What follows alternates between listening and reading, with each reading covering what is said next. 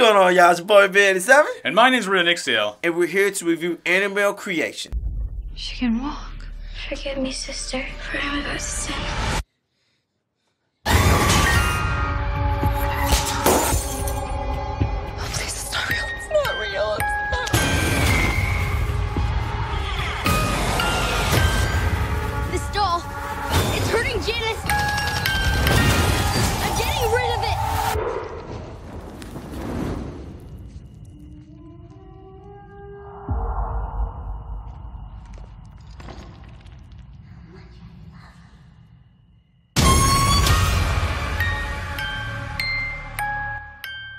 This movie is a prequel, prequel, I guess. It's a prequel to the Annabelle movie, which came out in 26 uh, 2014, which in turn is a prequel to The Conjuring. Kind of. It's in the same universe. It tells about the story of the Annabelle doll. But anyway, this movie follows um, bunch of people. The Mullins family. It starts out with them. Their uh, daughter is killed in a freak accident. There's nothing, nothing serious there. But and then it, it that's all it shows. It shows them all being murdered and the family moving on. Twelve years later, we come to this sister uh, Charlotte, who's played by Stephanie Sigman, and a father who we don't really know too much about. He's driving the bus. Is taking these kids from an orphanage to live at the Mullins house because they want to atone for their sins from whatever happened, or they have a big house, empty house, so they're inviting people to live there to, until they can get adopted. Not a bad thing. They're awesome people. He's he's kind of creepy in the way he does it. And he acts. He's just staring at them a lot. But he's seen some shit, so it doesn't matter. Yeah. All right. oh, yeah. So good. All right. I would too. Oh yes. Um, things start happening, and this girl, uh, Janice, who is uh, affected by polio, she, she walks around with a brace on her leg and a one a single crutch on one arm. So she can't really do anything. She needs a special chair to go up the, the stairs and all that stuff. She finds she disobeys the um, father or the owner of the house, Samuel Mullins, who's played by Anthony LaPaglia. LaPaglia. LaPaglia. Yeah. Sorry for pronounced her name. I had it written over there. So anyway, he plays the father. He plays the father figure, the man of the house, the previous owner. Um, he disobeys her, goes into a locked room that was his daughter's previous uh, house. We don't know a room, but we don't understand what's going on. So she goes in there. She unlocks a uh, door and sees the Annabelle doll, which is creepy as holy hell. You Open the door, black eye sitting there because it's in shadow and just creepy. It looks Keeps really turning, bad. keeps turning her head every time. You just go. Oh, he wouldn't know. That's later in the movie when it starts getting more active. But she's just sitting there staring at it. Open the door, close the door, open the door. He's still sitting there. But the door opens by itself. So it just really looks creepy. Yeah. Things happen like that throughout the movie. It gets creepier or worse and worse. Or seeing things. Eventually, whatever demon thing, we know it's not the girl that they, they thought it was. Because she has black face, claws. She's like 10 feet tall, glowing eyes. We don't get to see her really, other than in the shadows like that. She eventually affects Janice which leads her friend or uh, her sister, I guess. They want to get off to the sister together. Yeah. Linda, who's played by, is that Luli Yeah. Wilson? Luli Wilson? Lily Wilson. To uh, try to investigate and figure what's going on. She realizes the doll's affected her, something's wrong, so got to get rid of the doll. You'll save Janice. That just pisses the demon off even more. Right. So then things start, start going down. Everyone starts seeing demons. They start getting attacked by various creatures. People start dying left and right. Yeah. It's terrible. And then near the end, we find out the story was and why the Annabelle doll was created in the first place. So this is how it first came to being. And this doll is still in existence today, apparently. It is uh, actually at this story, the overall Conjuring story follows Ed and Lorraine Warren.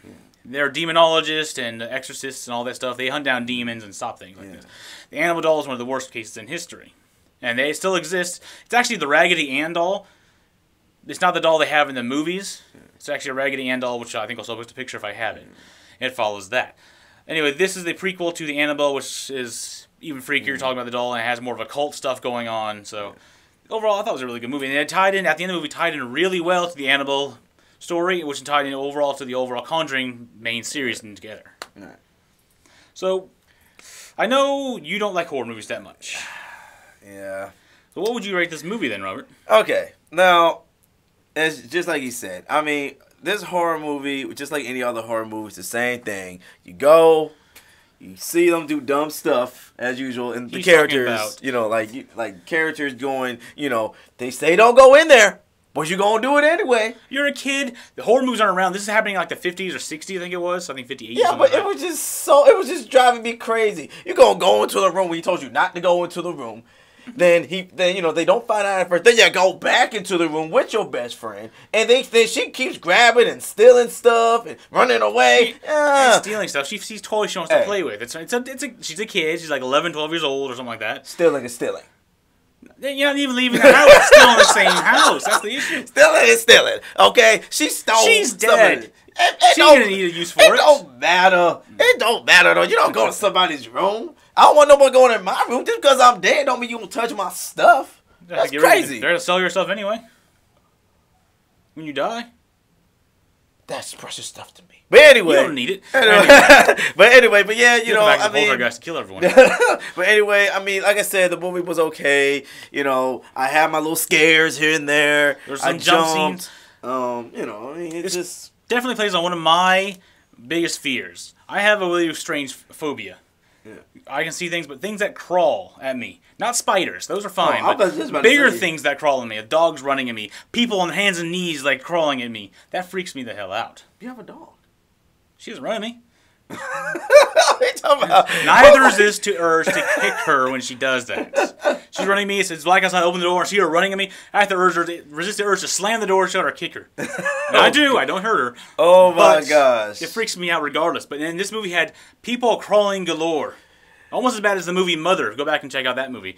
In the opening scene with the girls crawling everywhere. Oh, that freaks me out so bad. He, That's it- also why The Grudge hurt me so bad because when she crawls down the stairs, that part freaked me out. It didn't freak me That's out. it. It. didn't freak me out that much. I think the biggest thing I can handle ghosts and the- demons, but the crawling things that freaks me out. I don't like the whole head turn thing. That was freaking me. The doll was freaky as hell. Yeah, the doll kept moving. Sorry, excuse me. I don't know. My bad. the doll kept turning its head, like it wasn't really anything you saw. yeah. Like she, she turned the head away. She go do something else, and when she turns back, Turn whatever, back, yeah. the head's already turned back, looking at her or Yeah. something, or it's moved entirely. She looks through the keyhole, see the doll sitting on the uh, rocking chair. She like opens the door, and the doll's gone. The rocking chair's still moving slowly down, but the doll- she, doll's gone already. Yeah, a couple times they pour through the doll. You can see it was crazy. Creepy. but I loved it. I love the. It was always dark there. When it was night, it wasn't that scary. They had some jump scenes having their daytimes, which means you're not safe in light either. But overall, like I said, I'm giving this movie seven point one. I mean, okay. it's it was it's an average horror movie. It's not really anything that's like I wouldn't watch it again, nothing like that. Cause like I said, it's a horror movie. It's the same thing. Mm-hmm. I think the best parts was you know, which is one thing I do. I would like to tell people: if you go see a horror movie, go see it with a crowd of people because it's Yes. mad funny. Because everyone's kind of like. Do not go in there. Like you know how you go to a theater, you just have a whole bunch of people. They're like, "Don't do that. What's I'm wrong with you?" movie, I'm thinking that's stupid. That's stupid. Popcorn. Yeah. Popcorn. That's stupid. Don't do that. That's Yeah, But when people in the theater are behind me screaming, "What the fuck are you doing? Yeah, Why are you doing I love that? Like that's the best part about going to the movies with group of people because it's like, oh my god, that- oh he's she's stupid. You dumb motherfucker. What's wrong with you? Like it was just so fun. Like everybody was doing that, and Sorry we all 11 year old, by the way. Yeah, and we it was all it was just it was just all over the place. Everybody was just just screaming But out stuff. think, these girls don't have that much TV or anything. Like TV hasn't. It's like all Black 50, so it's all like barely coming to its own. They have like the big box sets and everything, Yeah. and his TV didn't even work, so they don't have too much horror to still. go off of. Today we think zombie apocalypse won't happen because we have so many zombie movies. How to kill them? It's our first zombie rise. Everyone would jump to it and start shooting a head at. That's true.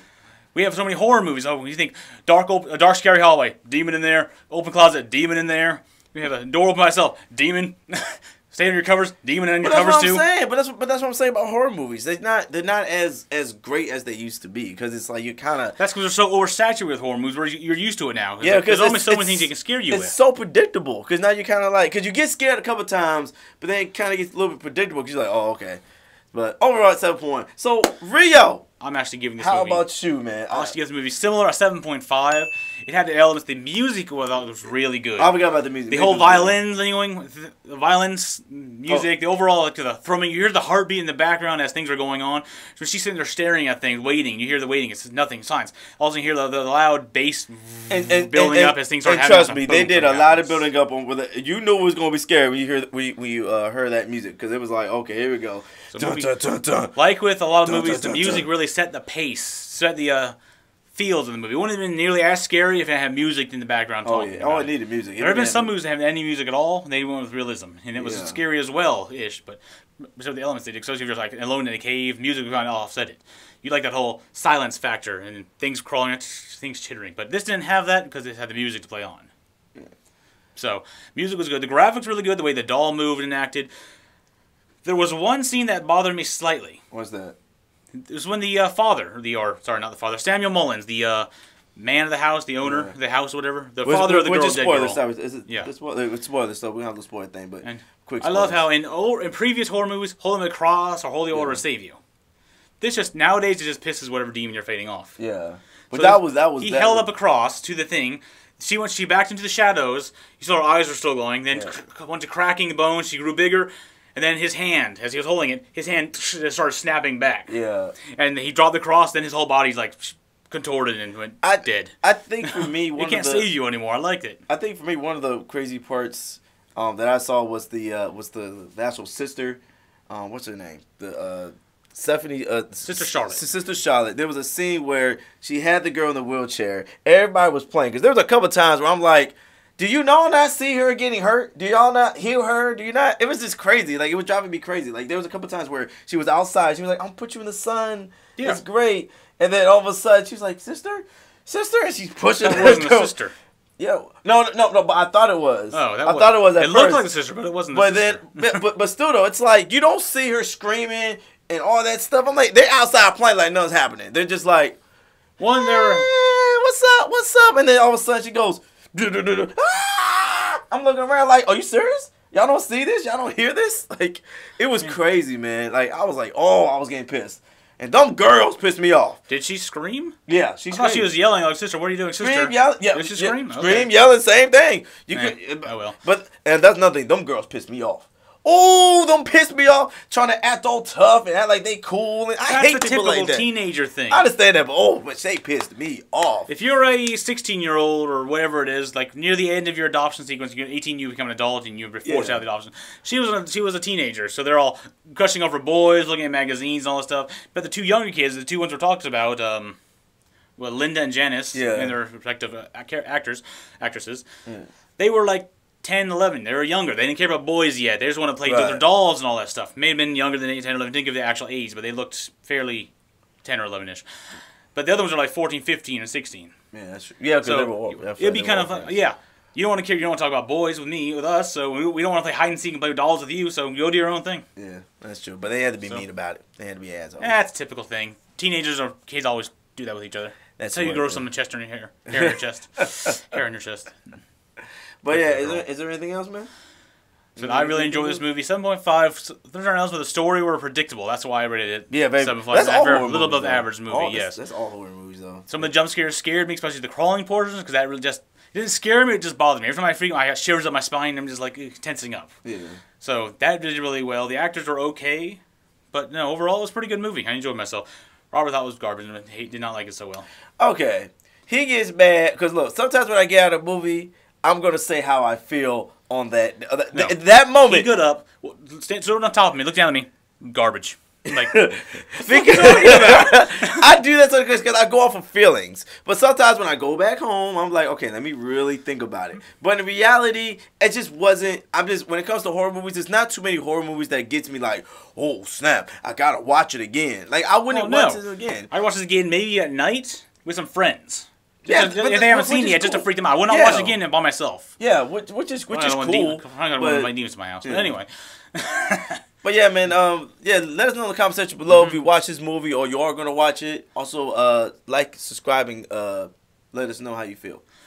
Definitely uh, let us know in the comment section below. As he said, have you seen the other uh, the Conjuring based movies? The Conjuring One, Conjuring Two, Annabelle One, and apparently they're coming with a uh, spin off sequel of I think the Conjuring Two episode called Yeah. The Nun. It's coming in 2018. And then, or no, Conjuring 1, I think it's The Nun. Conjuring 2, it's The Crooked Man, which hasn't even been announced yet. That's a coming up movie. No release date yet for that one. And also So- make sure you stay to the. If you have not watched the movie, make sure you stay to the end end of the movie. Yes. Also, 'Cause I know there's a lot There's of a people that mid credit scene yeah. and an after credit scene as well. It's Yeah. all it ties into everything else, so it helps a lot. Yeah, a lot, I know because I know a lot of people they want to know sometimes if they should stay. Cause just like Marvel movies, you want to know is there something at the end. So yes, do stay for the very very end, very very end after all the credits Mm-hmm. Yes. are done. Um, you So- you'll probably you'll see I said, there is a cool. mid credit scene. That's not the last one. There's one after all the credits One. roll right at the end of the movie. So stay for that one too. Yeah. All right. Uh, So like, thank y'all for joining us today. Um, It's your boy B87, I'm Rionyxiel. and we'll catch you later. Bye. She wanted permission to move into the doll. We soon realized It wasn't our daughter. So we locked it away. It's coming after me. Because I'm the weakest. You help me. What do you need?